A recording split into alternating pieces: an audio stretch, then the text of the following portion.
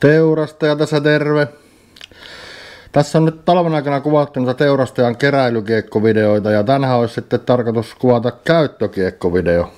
Tässä on näitä käyttökiekkoja. Kaivelin tuolta vähän kaikki esille ja tarkoitus olisi nyt tästä käydä nämä nopeasti läpi ja katsoa, että mitä menee kesälle 2021 niin käyttöön ja mitä menee sitten tuonne varastoon niin laatikoihin ottamaan toista mahdollisuutta. Öö, olen pikkusena tässä yrittänyt organisoida, että olisi vähän niin kuin vaikka puttereista midare, midareihin ja väyliksiin ja drivereihin, että jos joku järjestys tässä olemassa. Tälle hyllylle laitan kiekkotelinen sen ne kiekko, mitä nyt kesällä 2021 tulee kiertämään mukana ja loput sitten laatikoihin. Lähdetään liikkeelle. Sonicki. Niitä mulla on kaksi kappaletta käytössä. Keräilykiekkopuolella taitaa olla ehkä yksi kappale. Nämä on, tämä oranssi on aina mukana ja tämä on sitten varaa kiekkona. Mulla on tapana laittaa tähän telineeseen sillä lailla kiekot, että putterit ylös, sitten midaarit, väylikset, driverit. Sitten mennään, tota, mennään puttiputteripuolelle sitten. täällä on, onko nämä puttiputtereita? Onhan nämä. PT Medium, eikö tässä pinossa on puttiputtereita? Eli joutsenta mulla on putannut jo monta vuotta. Tässä on tämmöistä joutsen kakkosta. Nämä puttiputterit, mulla on kaikki PT Softeja. Ja kolme tämmöistä kakkosmallia, eli tämä on siitä joutsenesta se vakkaampi malli. Ja tämä ykkönen on se Reborn, joka on se alivakkaampi. Ja kummatkin mulla on nyt on, on niin käytössä, eli on päkissä aina yleensä kakkonen ja ykkönen kumpikin. Nämä menneet itsestään selvästi tänne hyllyyn. Tässä on nippu niitä alivakkaampia. Tämä on myös PT Softia kaikki. Näitä me käytän sitten, jos me innostun kotona reenaamaan puttaamista. Ja kaksi viikkoa nyt ensimmäisen PDG-kilpailun ja reenaukset on vielä reenaamatta ja pitäisi aloittaa tuo putinkin reenaaminen. Että osuisi edes laitteeseen sieltä kymmenestä metristä. Sitten puttiputterit on nyt tuolla telineessä. Toivottavasti tuo pysyy pystyssä, kun se on nyt ylhäällä tuo paino. Se jää nähtäväksi. Sitten mulla on täällä lisää näitä Reborni ja kakkosjoutsinia. Tässä on jäykemmällä muovilla. Täällä on PT Mediumia ja PT Hardia. Öö, nämä, mulla itse asiassa nyt nämä ykkösjoutsenet, näitä me käytin aikaisemmin jonkun verran lähärikiekkoina. Tämä on tosi alivakkaa. Ja nyt mä olen sitä Forea harjoitellut sen verran, että minä ehkä pystyn sillä korvaamaan nämä ykköset, niin nämä lähtee nyt sitten nämä kovemman muovin heittoputterit, alivakkaat joutsenet lähtee sitten ottamaan ehkä sitä toista tulevaa mahdollisuutta. Sitten mulla on pino tämmöisiä hardi, BT Hardi joutseni kakkosia, joka on sitä vakkaampaa. Niin tämä on mulla se suora heittoputteri. Ja tämä tulee, nämä kaikki tulee, tässä on viisi kappaletta, niin ehdottomasti kiertää myös ensi kesän väkissä. Sitten tuossa oli siis puttiputterit ja alivakkain heittoputteri ja ne Sonicit. Mennään sitten vakkaammalle osastolle. Täällä on jokeria tämmöisellä premium muovilla. Näitä meillä on enemmän käyttänyt talvella ja tykkäsin tosi paljon, varsinkin foreilla tosi hyvä kiekko. Mutta tänä kesänä nämä ei kierrä mukana. Ne menee varastoon. Sitten täällä on linkkiä. Tässä taitaa olla hardia, exo hardia ja sitten on exo softia. Näitäkin tykkäsin kovasti heittää, mutta ei ollut tämän kesän päkissä tilaa näille. Eli nämä lähtee kans varastoon. Öö, sitten täällä on Skyguard 3, Eli PA2 tämmöisellä Color Glow muovilla tämä menee käyttöön lähestymisputteriksi itselle tänä kesänä. Katsotaan pysyykö nämä täällä pystyssä. Onhan tuo Skyguardi tuonne. Sitten on pureja. Täältä löytyy, nämä on Opto X pureja kaikki. Ja nämä menee käyttöön. Tämä on se minun tavallaan sitten, jos ei pysty heittämään tuota joutsenta, jos se liian alivakka, jos tarvii heittää vähän suorempi heitto ja lujempi heitto, niin se on tämä Opto X Pure. Vanhan ne tuon kans. Paljon nämä heittoputterit siihen kylkeen. Sitten me testasin tätä Penrosea. Tässä on neljällä eri muovilla Penrosea. Tämä, tällä, tämä ei mahtunut itselle bagiin. Hyvä semmonen vakaa heittoputteri, mutta tämä jää ottaa mahdollisuutta tulevina vuosina. Siinä on nyt puttereita tuossa yhdessä laatikossa.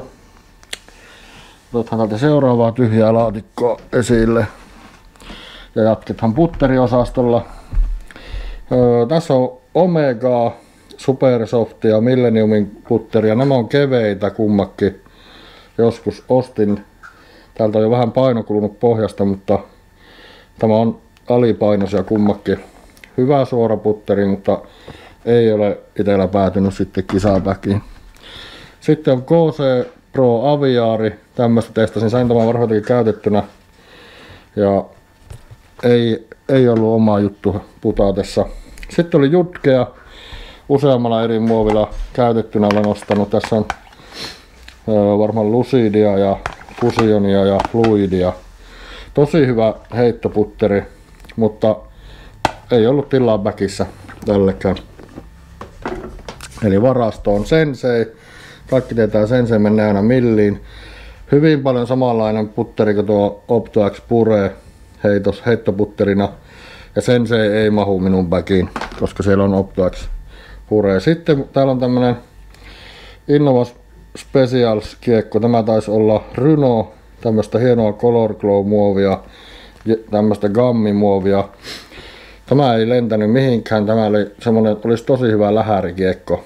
Ja mietin pitkään tuossa talvella, että jääkö backiin vai ei. Mutta ei ainakaan tänä kesänä mahu backiin tämä. Sitten täällä on kruunuja löytyy optomuovilla, pinopino, vippimuovilla. Näitä olen heittänyt jo useamman vuodenkin. Tämäkin on semmoinen vähän vakkaampi heittoputteri, hyvin liidokas, erittäin hyvä heittoputteri, mutta kaikkea ei voi saada mahtumaan päkiin, niin ne menee varastoon. Sitten on ihan tavallista optopurea, viisi kappaletta. Tässä on, okei, okay, kaksi on näitä hohtomuovisia, eli moonshineja ja sitten kolme tavallista. Ja mulla on ollut tämä vuosikauet päkissä tämä optopure, mutta tänä kesänä se ei ole päkissä, koska siellä on vain tuo Opto X pure. Opto X on vähän vakkaampi, mihin pystyn enemmän siihen luottamaan siinä heitossa. Tämä vaatii, tämä menee liian lähelle tämä tuota Tuonilla joutsenta. Niin piti vähän miettiä, että kumpi se on, onko se pure vai Tuonilla joutsen. Ja se oli Tuonilla joutsen, koska sillä me pystyn heittämään, sillä Tuonilla joutsena ja se on vähän alivakkaampi, niin sillä pystyy heittämään semmoisia loppuun asti pitkään pitäviä antsalinjoja myöskin. Sitten täällä on vielä putteria lähestymiskiekkoja. P-Mode lässää olen kokeillut ja sekään ei ole. Se oli viime kesänä taisi olla itse asiassa koko kesän väkissä tämä semmoisena heitto ja heittoputterina kautta lähestymiskiekkona, mutta jostakin syystä se nyt ei sitten ollut se minun juttu, niin se menee varastoon.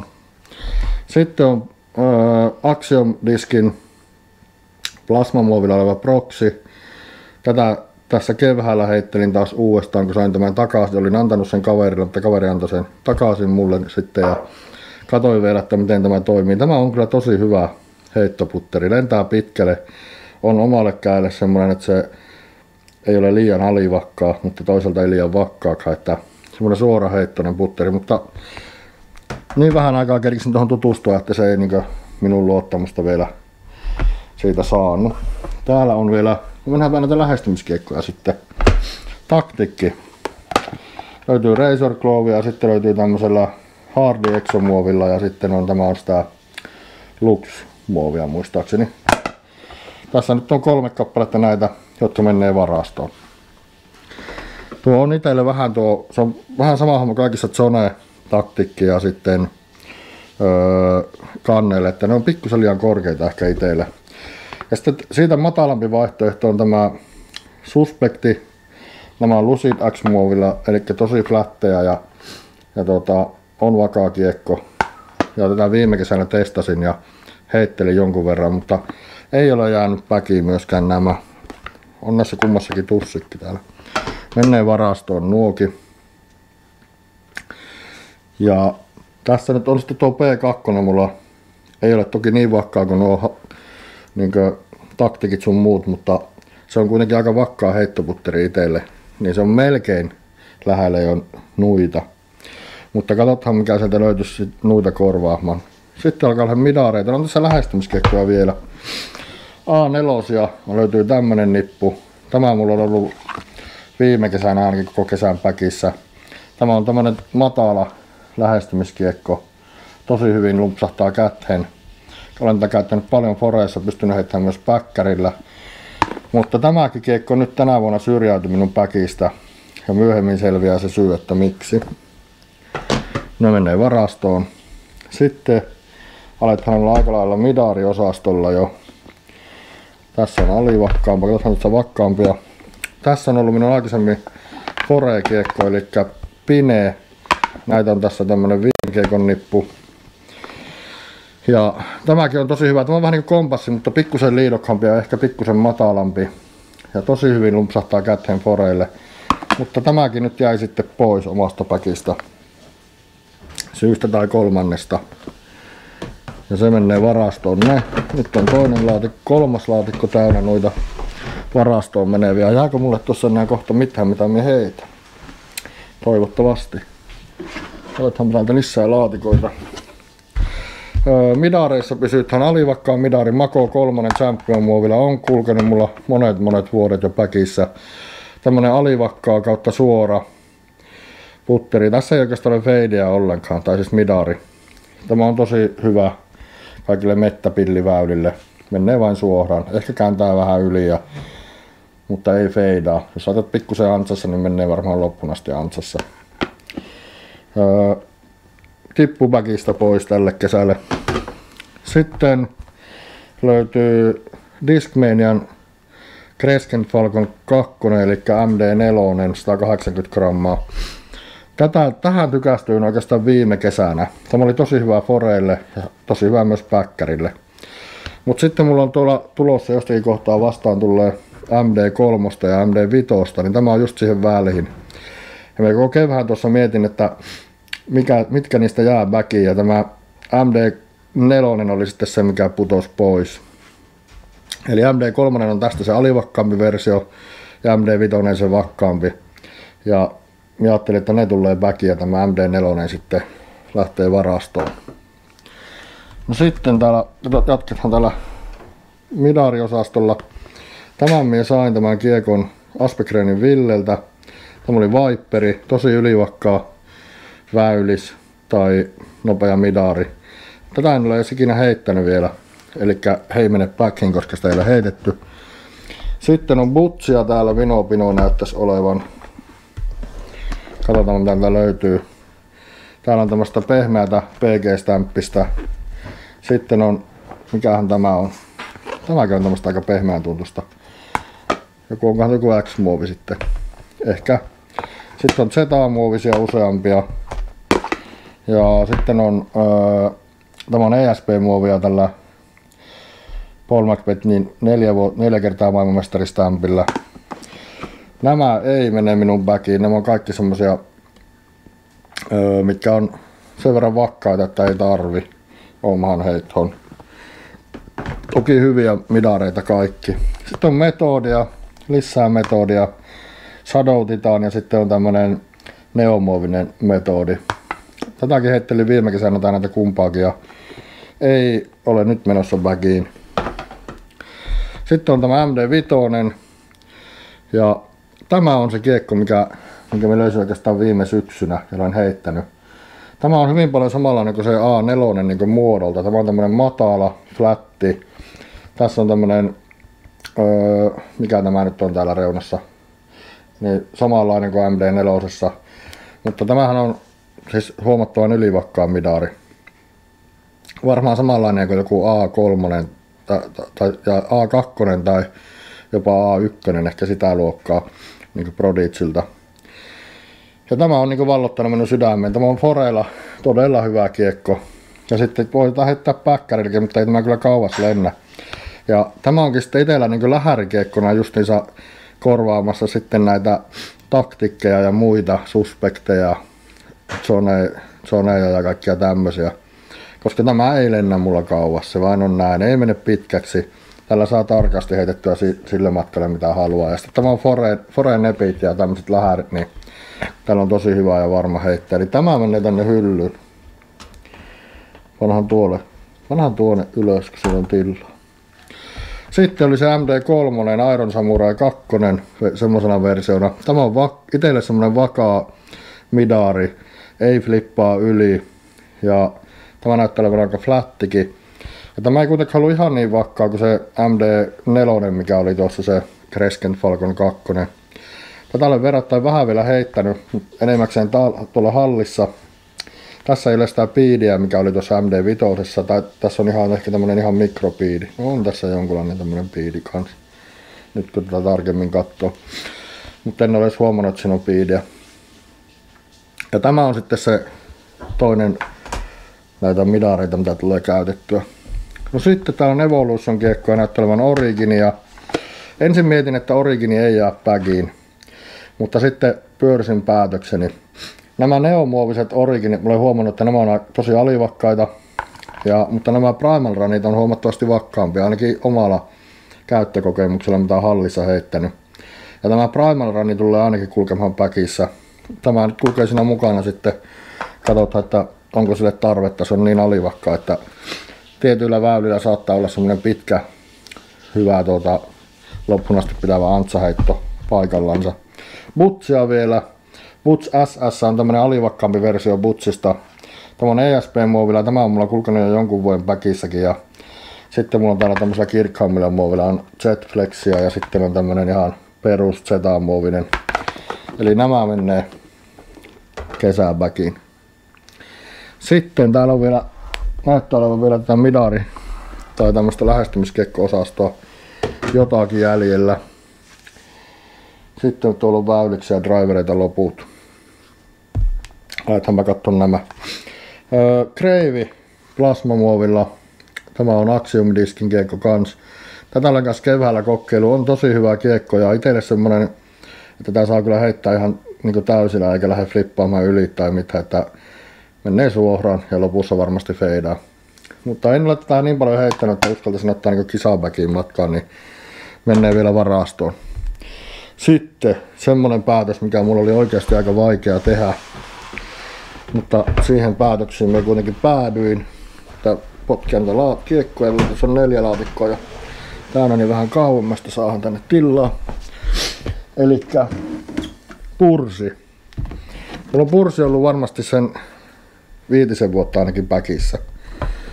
Ja niitä on sitten kertynyt myös tuonne harjoituskiekoiksi. Ne on kaikki Taitaa olla vippimuovilla olevia. Olisiko täällä joku kameleonikin seassa? Tässäkin joku hybridimuovinen ja sitten on vippiä ja vip X löytyy ja lisää vippiä ja on tämmöistä moonshinia ja on vippiä ja tämäkin on moonshine. Sitten on lisää vippiä ja vippiä. Mutta pursi jäi nyt pois. Ajattelin, että Minusta tuntuu, että mä noita normaalin midareita, niin Boots SS ja näitä niin saanut kuitenkin omasta mielestä lentämään vähän pitemmälle ja se menee varmasti kans suoraan. Tämä pursihan on semmonen keikko, että tämä on kutosnopeus. Tämä ei ole ihan niin midari, mutta ei ihan niin väyliskään, vaan sitä väliltä. Se nykyään taitaa valmistaja merkata sen nopeuden vitosena. Mutta tämä on niin tämmönen nopeampi öö, midari kuitenkin. Ja on tosi hyvä kiekko. Mutta tämä nyt jäi ainakin tänä kesänä pois sitten omasta päkistä. Katsotaan tuleeko se takaisin jossakin vaiheessa. Suosittelen kyllä monelle sitä purtta ainakin kokeilemaan, jos tulee siihen chanceja. No sitten, siinä oli oikeastaan mitä nyt on sitten midarit ja putterit löytynyt. Ja lähdetään sitten väyliksiä katsomaan. Nostellaan tähän pöydälle näitä pinoja, niin tästä on ehkä vähän helpompi sitten ottaa. Tuollahan on väyliksiä. Tässäkin on väyliksiä. aika vähän näitä vielä kiekkoja, mutta tuohon kyllä mahtuu vielä onneksi muutama. No, laitetaanpa tästä pinosta. Täällä on FD2 Royal Rage. Tämä on samanlainen kiekko minun mielestä kuin kakkosranin FD. Ja se on sen takia täällä samassa nipussa. Kakkosranin FDtä mulla on tässä muutama. Ne on ehdottomasti semmoisia minun tärkeitä luottokeikkoja. Hyvää foreilla erityisesti. Sitten täällä on normaali FDtä, pari tämmöistä C-linea. Ja sitten on tämmönen, tämäkin on C-line, tämä on ihan tämmöistä pehmeätä muovia. Panhan ne kans tuonne matkaan. Ja sitten on S-line ja loput. Löytyy kulunutta, löytyy jakaalia, tätä ihan alkuperäistä jakaalia. Sitten uudempaa s ja muutama kappale. Näitä on hyvä olla harjoituskeikkoilla. Täällä on toinenkin tämmönen lisoten. Tämmönen S-line, panhan se tuonne ja sitten tekö C-line ja panhan nämä S-line myös tänne hylly. Tämä on ehkä se kiekko, mikä mulla koronaksi. Tuota, tuo FD on vähän se kiekko, että se ei välttämättä mulla ole kuitenkaan kisapäkissä, mutta jos me lähden reenaamaan, niin ehkä otan tuon koko nipun matkaa ja se on semmoinen neutraali kiekko, jota voi heittää, niin se on hyvä reenikiekkona myöskin. No sitten, Leopardi 3, kaikki tietää, että se on minun lempikiekko. Niitä on tämmönen nippu. Tämä on tuosta FDstä naksun verran vakkaampi kiekko. Ainakin näillä moldeilla ja muoveilla, mitä mie heitän. Tässä on tota glow-kiekkoina pari. Sitten on näitä lustereita. Tämmönen nippu. Ja tämä taitaa olla sitten Color Glow. Luulisin. Eli täällä on sitten Drew Gibsonia ja lisää Drew Gibsonia ja sitten PG-stämpillä ja toinenkin PG-stämpillä ja lisää vielä Drew Gibsonia. Eli nämä lähtee ehdottomasti bagiin. Pysy pystyssä, kiitos. Sitten Exploreria. Tämä on, on tämä ensi, SE, eli Special Edition Explorer. Tämä tuli ensimmäisiä versioita Explorerista. Tämä on tosi hyvä kiekko. On tämmönen aika flatti. Ja tätä mun on käyttänyt enimmäkseen foreikiekkona. Mutta se viime kesänä jo jäi niin päkistä pois. Ja sitten mulla on näitä muita moldeja. Tämä taitaa olla joku tämmönen hybridi. Sitten on First Run ja toinenkin First Run. Sitten on Snowline ja siinä ne taisi ollakin Explorerit sitten. Ei mahu päkiin. Olen yrittänyt sitä heittää ja yrittänyt päästä sen kanssa sinuiksi, mutta se vaan ei ole ollut teurastaja juttu se Explorer missään vaiheessa. No sitten, ei muuta kuin lisää laatikkoa tänne, niin saa näitä vähemmäksi. Sitten on täällä Triple X, nämä kaikki on tota, Frontline muovilla tämmöisiä pehmeitä kiekkoja.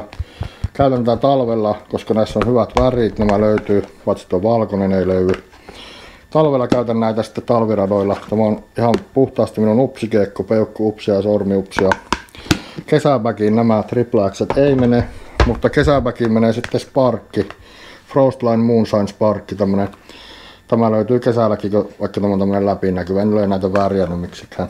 Ne pannaan tuonne telineeseen.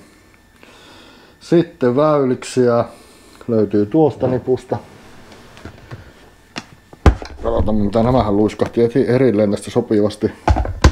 Eli tämä on se toinen minun lempiväylyksistä, eli Saint Pro. Ja se on nimenomaan tämä vanhempaa mallia.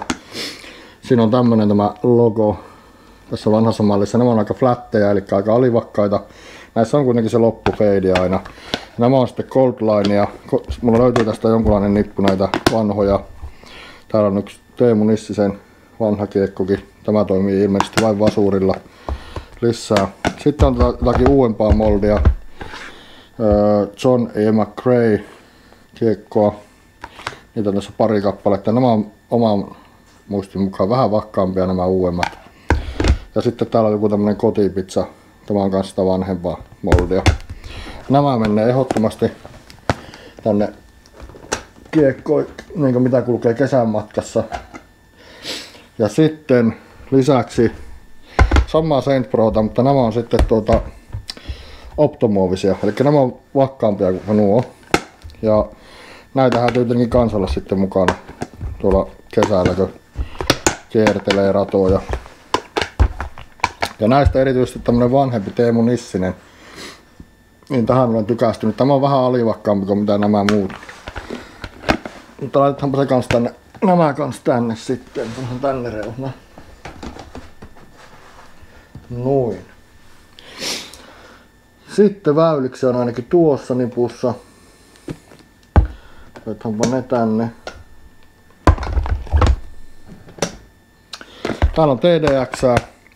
Eli tämä on tämmönen numeroarvoilta niin olisi alivakkaa tämmönen 9 nopeuksinen 5 liito. Tämä on paljon vakkaampi, mitä no miinus kolme numero antaa ymmärtää. Tämä on etelä ollut foreilla ja ihan naula suora loppuun asti. Mutta ei mahu nyt tämän vuoden backiin tämä kiekko. Sitten täällä on seinttiä Optomovilla. Täällä on myös, olen ostanut myös varakappaleita jonkun verran. Tämä on ihan minun se kiekko, mikä varmasti lentääkin pisimmälle. Tämä on alivakkaa liidokas. Erittäin hyvä tämmönen nopea väylis. Voisiko sanoa kontrolli driveri jopa. Se menee tuonne hyllyyn. Sitten löytyy Saintia Goldimovilla. Sitten löytyy, joo, nämä kans tuonne matkaan. Nämä on vähän alivakkaampia, ei ehkä tule niin käytettyä, mutta hyvä jos käy tuolla kentällä reenaamassa, niin on samaa moldia. Sitten sotakirvestä. Tämä, mä oon sitä mieltä, että tämä on niin aloittelijalle maailman paras kiekko, tämä sotakirves. Tämä on alivakkaa ja tällä pystyy heittämään hysseflippejä ja niin poispäin. Ja lentää tosi pitkälle liidokas kiekko, mutta tänä vuonna tämä ei mahu minun bagi.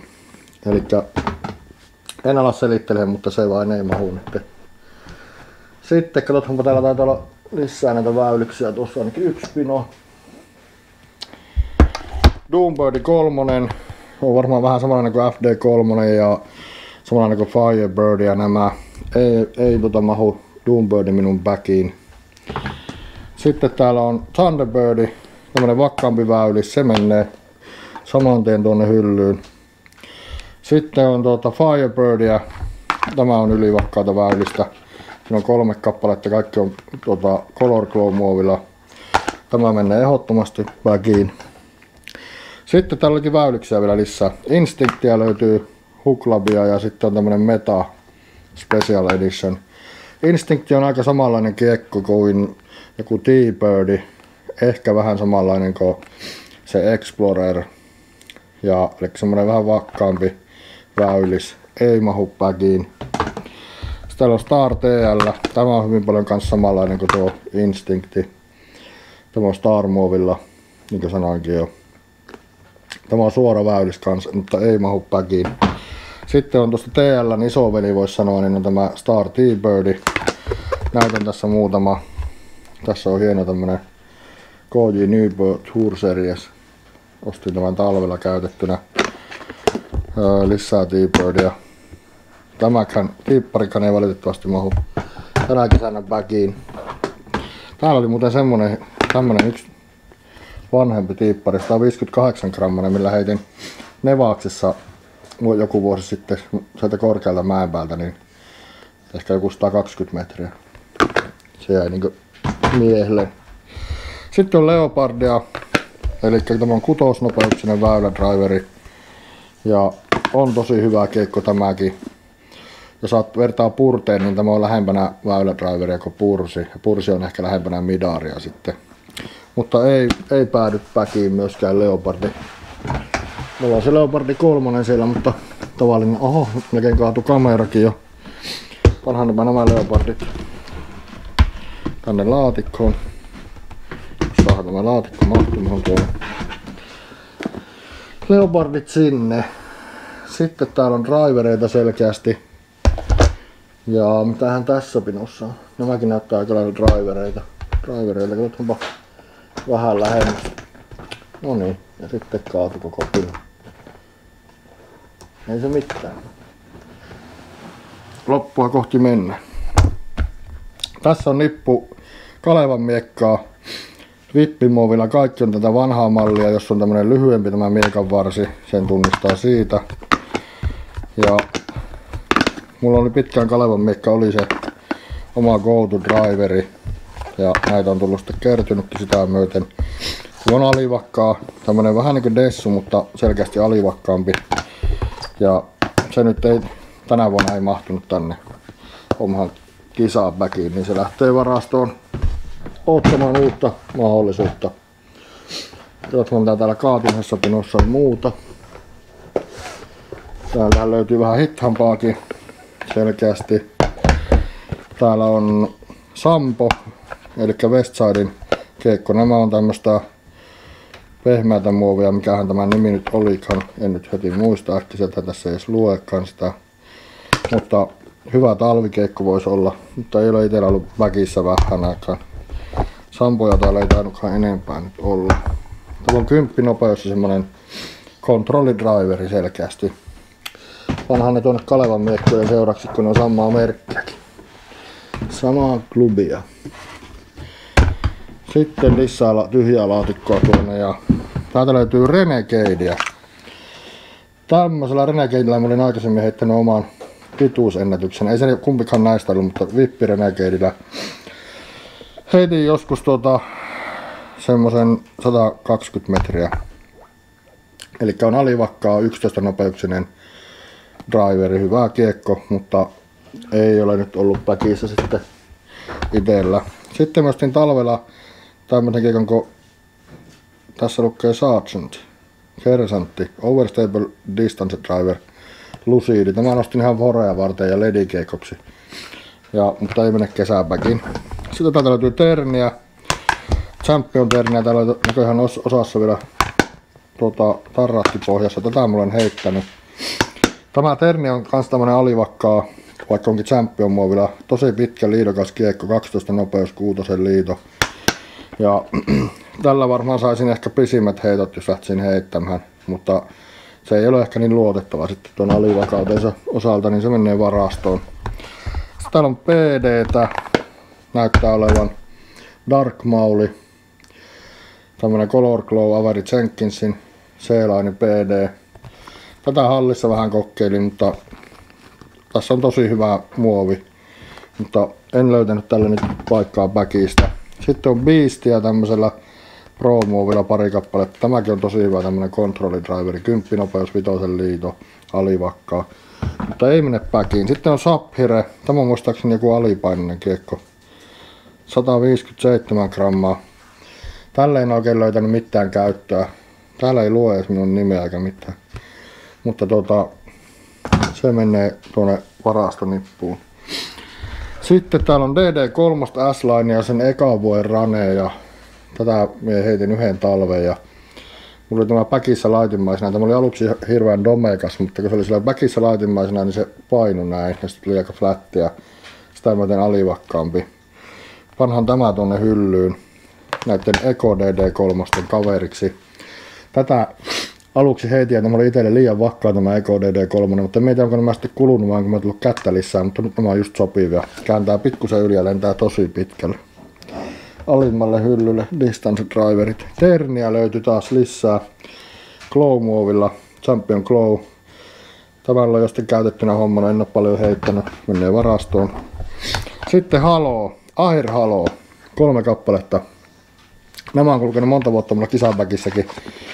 Tämä on semmonen myötätuulikiekko, joka lentää tosi pitkälle. Ja vaikka tämä on 13 nopeuksia, niin tämä jotenkin tähän käteen sen saa istumaan hyvin ja lentämään hyvin, mutta ei ole kisapäkin tänä vuonna menossa. Putos pois just nytten.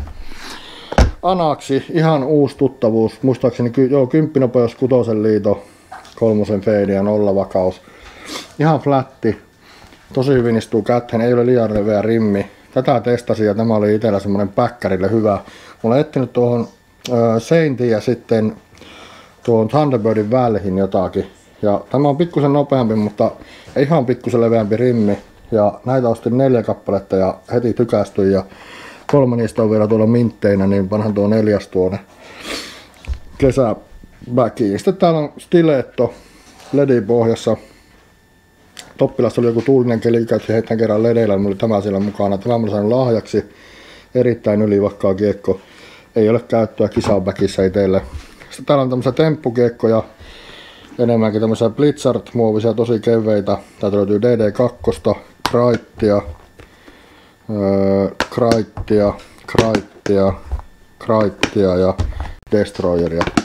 Nämä on tämmöisiä keveitä kiekkoja, jota, joihin ei, niin kuin, ei ole semmoisia luotettavia lennolta, niin nämä on enemmän, jos haluaa käydä repimässä jotakin distanssia, niin siihen myötätuulen kiekkoja. Ei ole tietenkään menossa nyt sitten kisabakiin nuokaan. Sitten äh, Wrightia, mulla, siihen yritin koko talven tutustua. Tässä oli tuota tämmönen nippu, täällä on pari hukia ja sitten on Ken Climoa 12 kertaa maailmanmestarikiekkoja, pari kappaletta. Tämä oli muistaakseni alipainoinen 157 grammanen. Semmoista ei kokeili ja sitten on tämmöisen on onnistunut muistaakseni tai jopa saanut Ville Aspekrenilta, kiitos Villelle. Ja sitten on tämmönen Pro Bright. Mutta ei, ei nämäkään ei, ei ollut tuota Dessun korvaajaksi nuista. Mie ajattelin, että kun se on pikkusen kapeampi rimmi ja aika lailla sama tarvo muuten kuin Dessussa, että sillä voisi Dessun korvata, mutta ei sillä kyllä voi. Dessu ei korvaa mikään. Sitten täällä on, tästä on muuta Roadrunneria. O, ostanut joskus tämmöisen käytettynä tai ehkä uutenakin, luultavasti käytettynä, niin tuota, rollerikiekoksi, mutta ei ole läheskään niin että tämä olisi niin miinus nelosen kiekko, niin ei tästä ollut rollerikiekoksi. Menee varastoon. Mamba sama homma, tässä on miinus viisi merkattu vakaudeksi. Tämä ei minun mielestä ollut niin alivakka, että se, niitäkin oli vain yksi kappale. Star Beastia löytyy pari kappaletta. Ei, tämä on kymppinopeus, voisi olla hyvä kontrollidriveri. Tosi domekkaita kummakki. En tiedä, onko ne normaalisti näin domekkaita, vai onko nämä yksilöt ainoastaan. On ihan, tämä punainen on varsinkin soppakulho. Ne menee varastoon. PDtä löytyy muutama kappale tämmöisellä S-line muovilla. Siellä oli se yksi Dark Mauli, olikohan se tässä laatikossa. Pannaan sinne sen Dark Maulin kaveriksi nuo PD. Sitten on Eagleä, lisää Eagleä. Tämä on kans tämmönen van, niin vanha moldi. Tämä oli ennen vanhaa tämä Eagle, se Maximum Distance Driver. Tämä on 7 nopeus, nelosen liito ja miinus 1 ja 3. Ei löydy paikkaa minun päkistä. Diamondi. Tällä avasin sentterillä ykkösväylällä. Ali, tämä on tuota 170, 174 grammanen kiekko. Eli lähes täyspainoinen, mutta tosi alivakka. Heitin tällä hysse flipin sen sentterin ykkösväylän vasenta reunaa pitkin se käänsi yli ja meni keskelle väylää sinne sen aukon läpi. Oli takaa tuuli. Hyvä kiekko, mutta ei ole tänä vuonna päkissä. Sitten Essence. Tämä tästä on stamppikin kulunut aika paljon tämä on ollut käytössä. On tosi hyvä väylis tämäkin ja semmonen alivakkaa. Ei mikään hirveä alivakkaa, meikäläisen käydä pystyy ihan heittämäänkin, mutta ei ole tänä vuonna päkissä. Sitten on Riveria, Optoriveria ja sitten Airiveria. Airiver on minun rollerikiekko, niin menee backiin. Optoriveri on sama moldi, niin menkö tänne hyllyyn. Välttämättä ei ole päkissä kuitenkaan.